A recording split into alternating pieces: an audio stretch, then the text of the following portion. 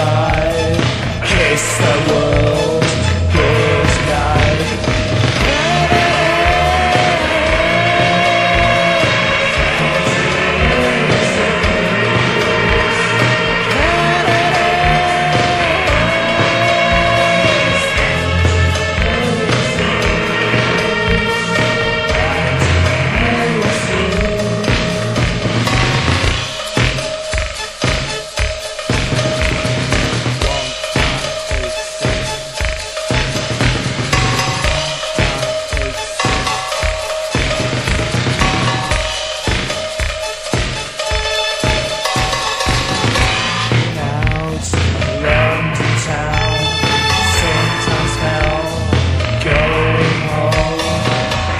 and crime, plastic bags,